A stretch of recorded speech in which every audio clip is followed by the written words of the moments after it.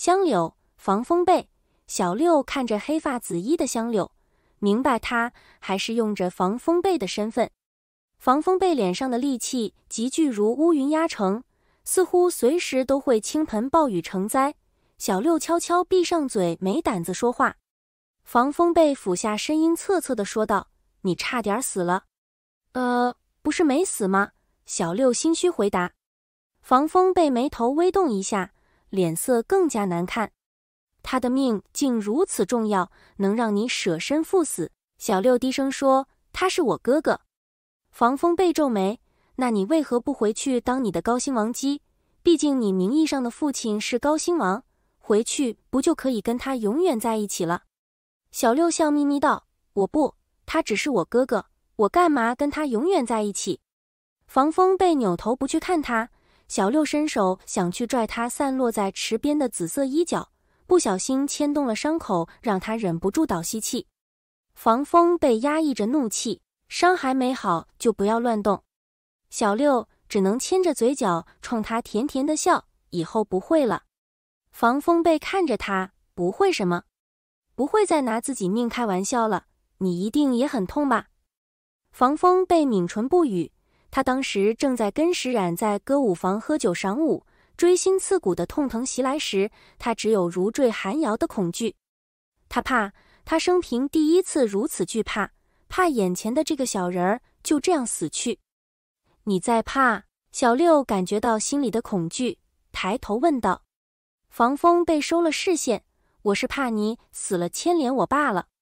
小六低低地笑：“你骗人，你就是怕我死。若我死了，你会拿命来救我？”防风被冷笑：“你也太把自己当回事儿了。”小六朝着池水努努嘴：“不怕我死，怎么搞了这么多灵丹妙药？也得亏我体质特殊，换了别人早被你送进阎罗殿了。是你哥哥送的，还有那只狡猾的狐狸。”防风被说的咬牙切齿，小六头向后仰，闭上眼睛偷笑着，根本不听防风被解释。许久，防风被轻飘飘的声音传来：“你的身份怕是瞒不住了。”小六睁开眼睛，慌张地看向防风被：“你这话什么意思？什么叫我的身份瞒不住了？”防风被逆着他：“你几次三番舍命救他，加上涂山璟那只狡猾的狐狸从中作梗。”你以为这些灵丹妙药是他白给的吗？小六惊呼一声，牵动伤口，龇牙咧嘴的痛呼着。枪炫已经知道了。防风被点点头，他给高兴王去了一封密信，相信过不了多久，高兴王就会昭告天下，高兴大王姬找到了。小六看着防风被，从他脸上却找不到任何不舍的表情。我说过，这辈子只做文小六。防风被笑得无奈，你该知道，这世上很多事都身不由己，一辈子那么漫长。小六着急了，不顾伤口的痛疼，伸手去拽防风被的衣角，紧紧攥在手里，阴气的眼神看着他说：“带我走。”防风被摇头，此时此刻我做不到。为什么？我一人无法与高星和轩辕对抗。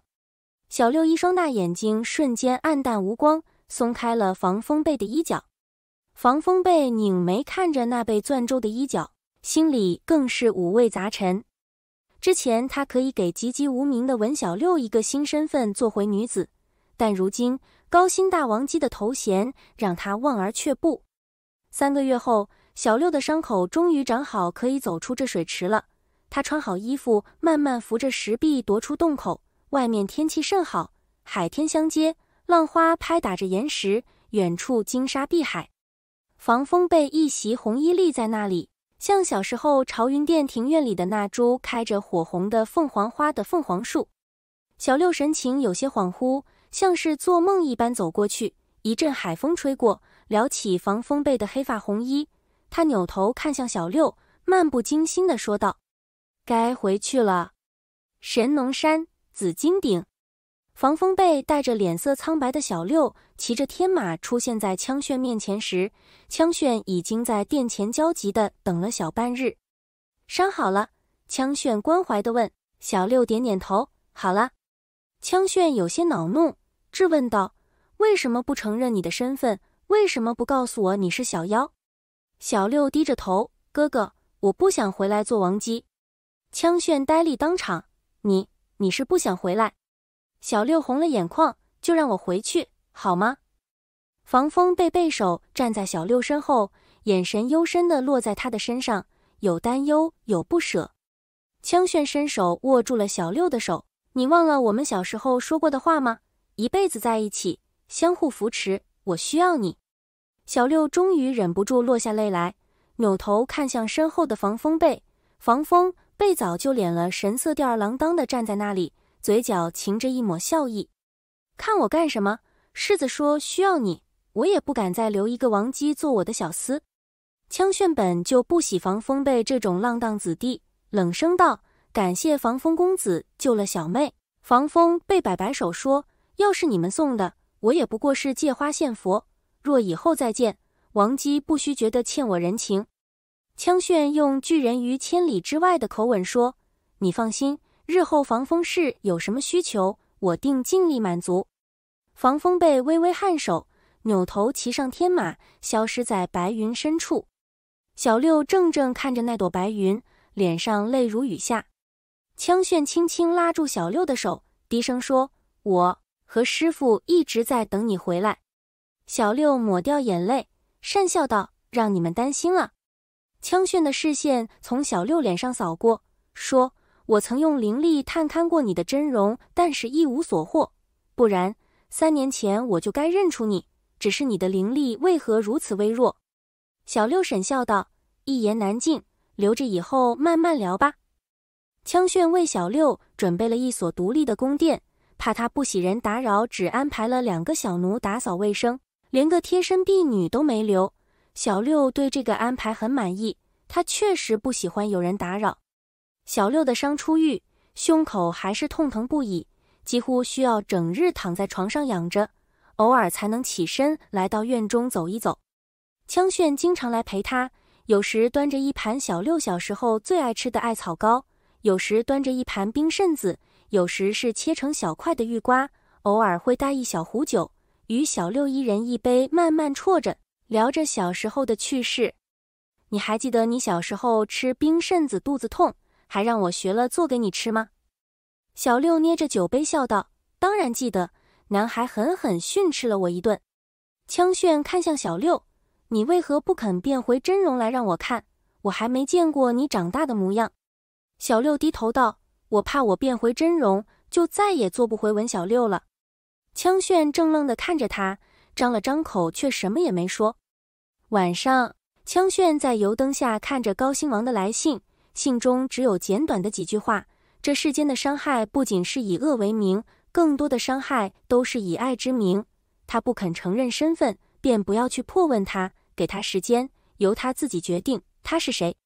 枪炫就着油灯将信箔点燃，看着火舌吞没文字，他似有千言万语翻涌在胸口。三百多年了，他终于寻回了他，又怎样舍得放手，让他归于人海？小六在紫金宫的小偏殿住了一年，一直以文小六的身份和容貌，除了涂山璟，连风龙都不知这来自清水镇的文小六到底是何身份。只道这文小六救了枪炫两命，在此养伤。今年冬天的第一场雪下的格外大，小六抱着暖炉推开窗，冷风裹挟着雪花迎面扑来，冷空气蓦然钻入口腔，一股寒意袭遍小六全身。枪炫处理完公事，捧着一碟子零食来找小六，见小六趴在窗边看雪，笑道：“是不是很无聊？”小六扭头看向枪炫，还好。比我被锁在笼子中那三十年舒服多了。枪炫坐在小六身旁，捧着碟子看小六吃着。每听你说一次流浪的故事，我的心就跟着揪一次。小六做了个鬼脸，笑嘻嘻的将手伸向窗外接着雪。虽然如此，我还是更喜欢清水镇自由自在的日子。枪炫凝视着小六，唇紧紧抿成一条直线。小六看他，微笑道：“哥哥。”你一个人完全可以应付这一切，何必留我在身边？枪炫不解，你为什么不肯回来？小六低头道：“我做文小六更快乐。”枪炫一手端着碟子，一手握了小六的手，认真说：“我会让你更快乐。小六不动声色地收回手，不会的，做回王姬只会让我痛苦。我只想做个普通人。枪炫拧眉问道：“是因为香柳，还是因为防风被？”因为我自己内心深处就不想做回王姬。枪炫紧紧盯着小六的眼睛，那双幼时以自己为天的眼睛，此刻却如此想要逃离他。枪炫伸手扶上小六的脸颊，问。你忍心丢我一个人在这世间？小六没有半分动摇。我还在，只是换了个身份。枪炫苦笑，说来说去，你还是想要离开我，哥哥。我带你去青丘，你收拾一下，下午出发。说罢，枪炫放下碟子，起身大踏步离去，生怕小六再说出什么让他心碎的话。小六叹了口气，望向窗外，漫天大雪，风欲静而树不止。这一世的自己，难道还要如这漫天飞雪一般，不知道将要飞往何地吗？